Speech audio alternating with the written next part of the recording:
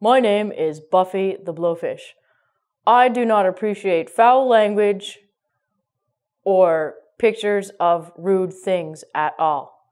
Please, if you are easily offended by rude things, do not watch this video. Turn it off now. Now, turn it off. Don't look at it. You don't want to learn bad words. I don't want to hear your comments about was rude. I didn't like that when Ronnie said bad words. Turn it off. Hi there, this is my friend Bobby the Blowfish. Maybe his name's not Bobby, I don't remember. but what I will tell you, Bobby cannot tolerate obscenities, naughty words, and bad words. So, Bobby, you can just go and fuck off right now. Okay, so today we're talking about sex. Who likes the sex? In English, we have a lot of different words for sex. The doctor word, or the word that my mother first taught me, is intercourse. If you ever have to go to the doctor, maybe you are worried that you're pregnant or you're happy that you're pregnant or you're doing tests, the doctor or the nurse will say, Now, when was the last time you had intercourse? What they mean is, when's the last time you fucked? They want to know the exact time. Why do they want to know? Did they want to take videos of it? That's weird. So, we have verbs in English.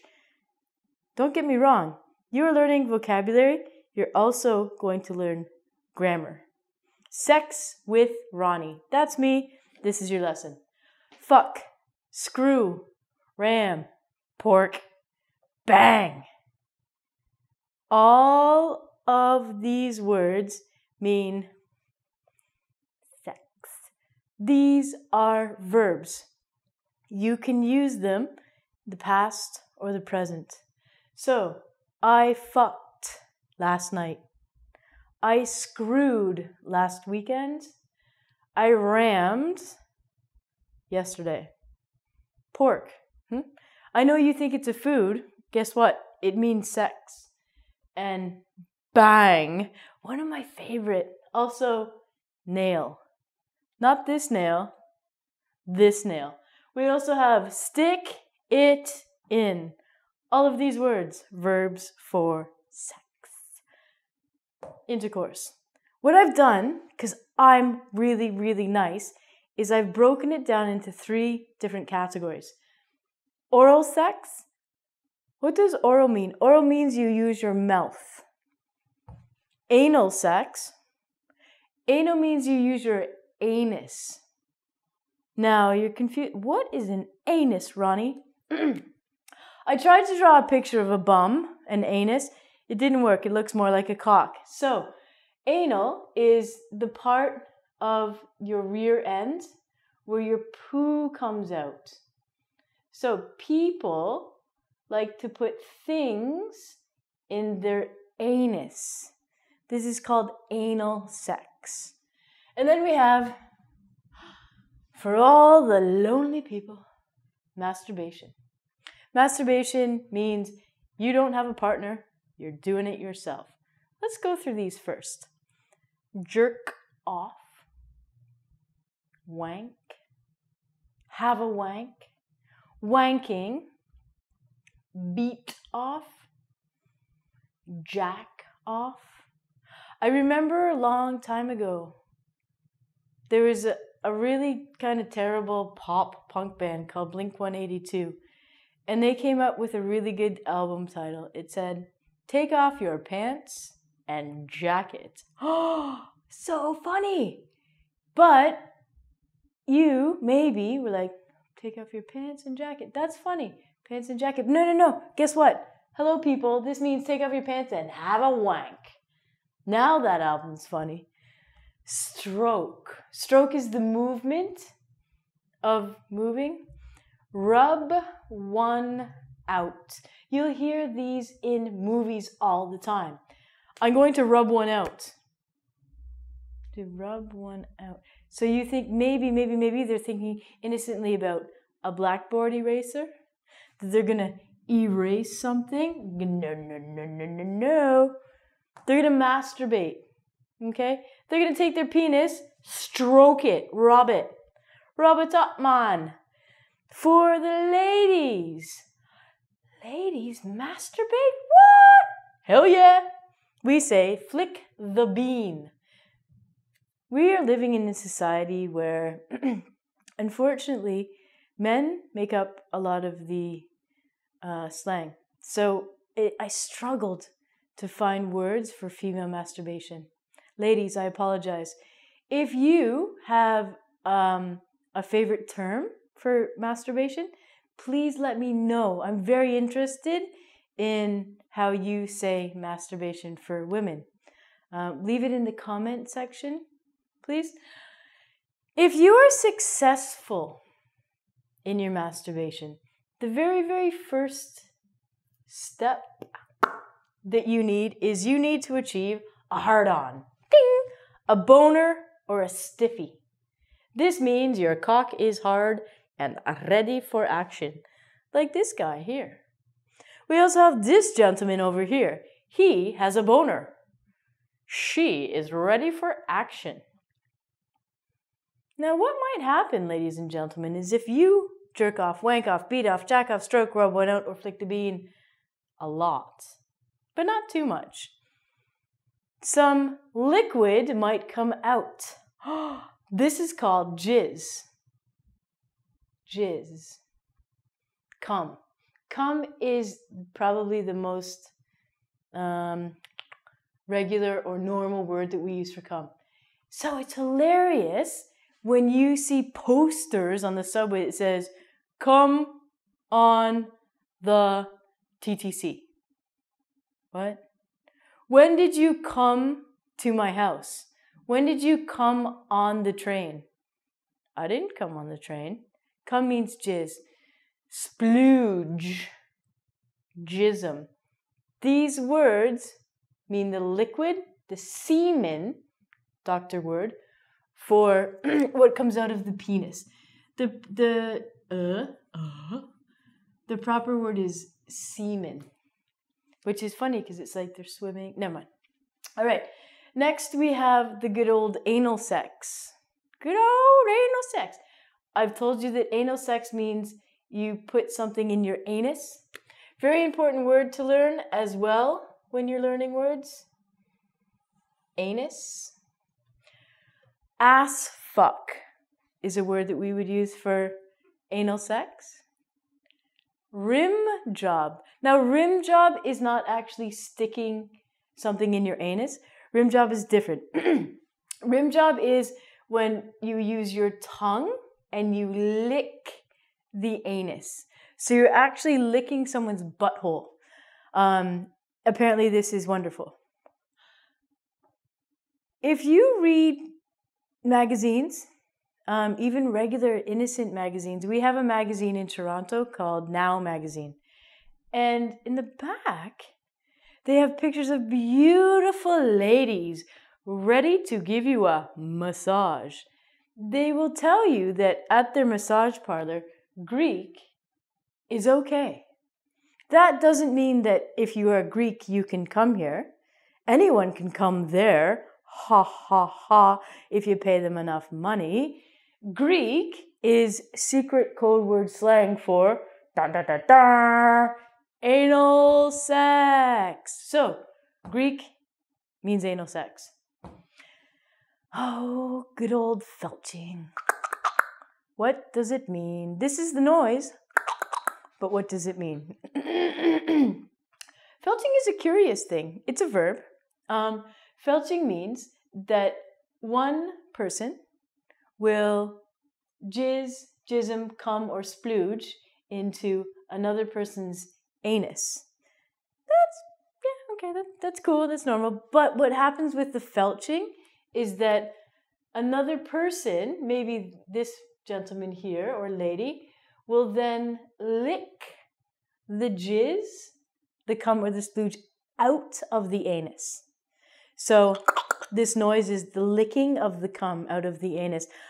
I've heard that in some countries, Australia, they use a straw. So the next time you go to Burger King or a fast food restaurant, grab a straw. See if people look at you and go, "Oh, Felcher." what do you do? Are you felching with that straw? No, it's for my cola. Sure it is. Mm-hmm. Felching. You need a hard on if you're going to felch after. Going back to the beginning, we have oral sex. Now, I told you oral sex, you use your mouth and your tongue, or, you know, your cheek, whatever you want. Um, we have a lot of words for the male um, oral sex BJ or blowjob. Who's drawn this? This is a picture of a blowjob. Now, the very funny thing is that a lot of people's names are, you guessed it, BJ. And you will see stores that has BJ's Wholesale or BJ's Fine Foods. Dying. So if I'm innocently walking down the street and says, Welcome to BJ's Wholesale, that means blowjob. That's hilarious.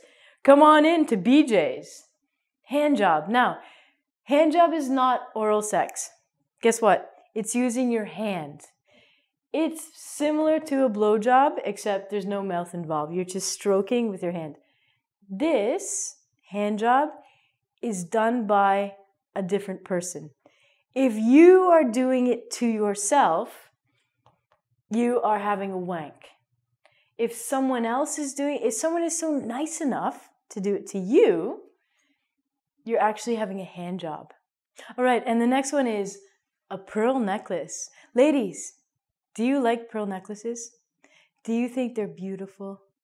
Would you be so happy if your husband or your boyfriend or your lover gave you a pearl necklace for your birthday? Guess what? What you think about is a pearl necklace and what Ronnie thinks is about a pearl necklace, you'd be misguided, ladies. A pearl necklace is when a man is nice enough to Come on your neck. Come is white, and if he's talented enough, he can put it like beads of cum along your neck. It maybe looks like a pearl necklace. It is hilarious if I go somewhere and ladies are shopping for a pearl necklace so they say, Would you like to look at my pearl necklaces?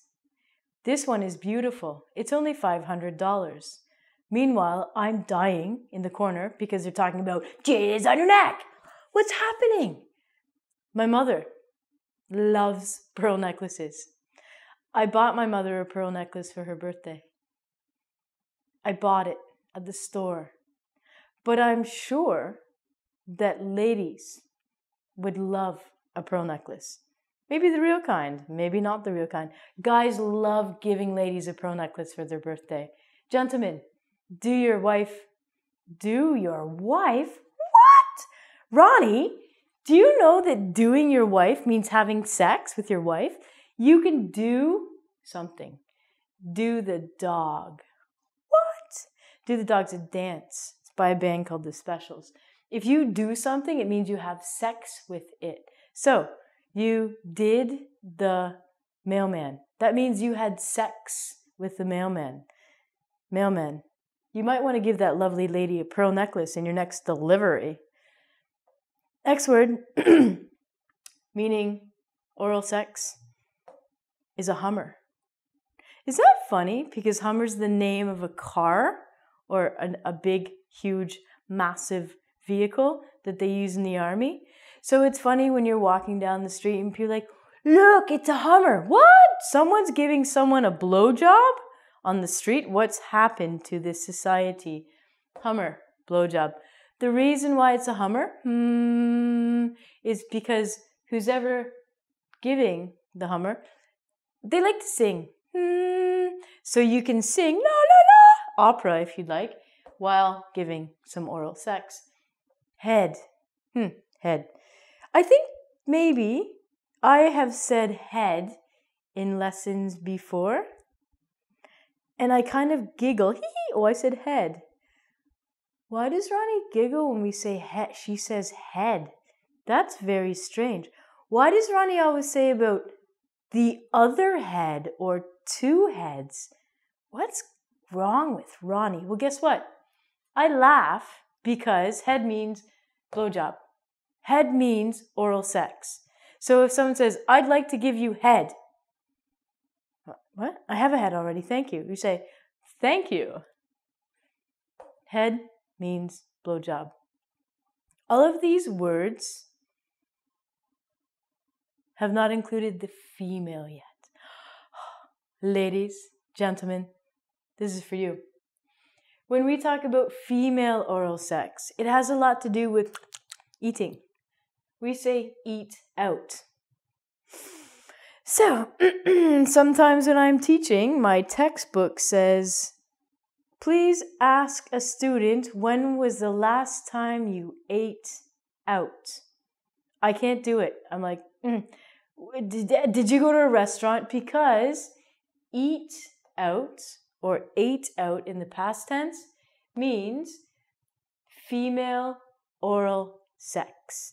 Females, we have a vagina or also known as a pussy or a beaver. If you're unsure about the slang body parts in English, please, please, please, engvid.com, type in slang body parts. You'll learn all these crazy words like pussy. Eat out means eat pussy or lick pussy or eat the vagina. You're not actually consuming it. You're not. Please don't swallow the vagina, you would have no vagina left. It means you're licking with your tongue. Okay? Eating, you're just, it's more like a munching. Okay? So when people say, I'm going to eat out, why are you telling me that? That's disgusting. I don't need to know that at lunchtime you're going to eat out. Oh, you mean in a restaurant? Yeah, good, good, good, good. Have a good meal, okay? Eat out means female oral sex. Eat pussy, same. Lick pussy, same. Muff. Okay, what is a muff? You think maybe it's a muffin? Maybe. Ooh, what's this? Muff represents, if they have it, the women's pubic hair. So, what happens is we have a muff diver. Why are people diving? Diver represents or means that someone is going down. They're diving into the muff. Meow, meow, meow, meow, meow. So, muff dive is a verb. If you want to talk about a noun, it would be a muff diver. I have seen t shirts that say, I'm a muff diver. I bet you maybe a couple of you have seen that t shirt or even bought the t shirt and thought, that's a cool t shirt. I'm going to wear that. Guess what? It means that you have oral sex with females. Recently in the news, there was a man. He said that he got mouth cancer because he licked pussy. I think he's a liar. The proper word for female oral sex is cunnilingus. Cunnilingus. It sounds dirty. Ew. Munch the carpet. Again, we get the analogy of the hair or the furry bit. Munch means eat. For some reason, um, when we talk about oral sex with women, it has a lot to do with eating or licking. Maybe because men are always hungry. I don't know. Just, I'm hungry. Well, here, just munch my carpet, buddy. That'd be nice. Okay? One thing that we have to be very, very careful about is that you use proper grammar. After all, I am a grammar teacher. So, what I'm going to do is I'm going to teach you the very important noun, verb, adjectives of these words. It's all fun and games to talk about blowjobs and rim jobs and felching, but the grammar is important as well. I would not like you to use these in a wrong sentence or use them wrongly in a sentence. I can't even talk anymore. Do you have a boner? so, this second part of the lesson is called sexy grammar. Um, as I told you before, fuck, screw, ram, bang, nail is a verb. So, as an example, I fucked Jennifer. This fucked is a verb. So you're going to have your subject and then the verb and then the person that you fucked. James nailed me. Again, nailed and fucked past tense is a verb. Give me a blowjob. Men would only say this. Women, we'd say, eat me out. Blowjob is a noun. So you're going to use the verb give me. Gentlemen, it's a good idea to say please, please and smile. Okay? Um, ladies, if you want to tell your man or your woman what to do, you can say, um, as a command, eat me out. Eat me out. This is a command.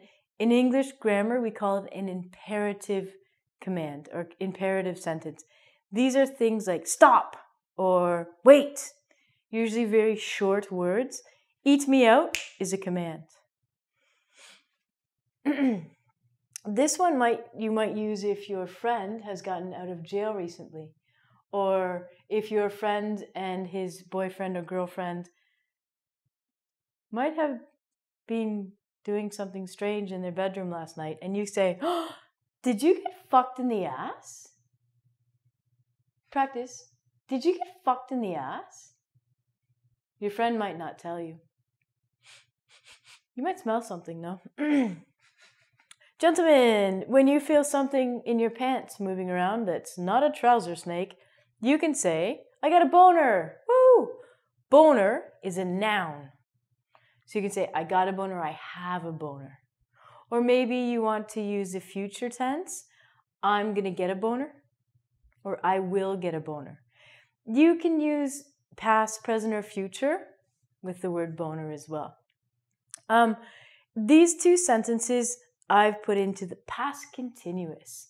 Usually we use past continuous when you're telling a story. He was jerking off. He was wanking.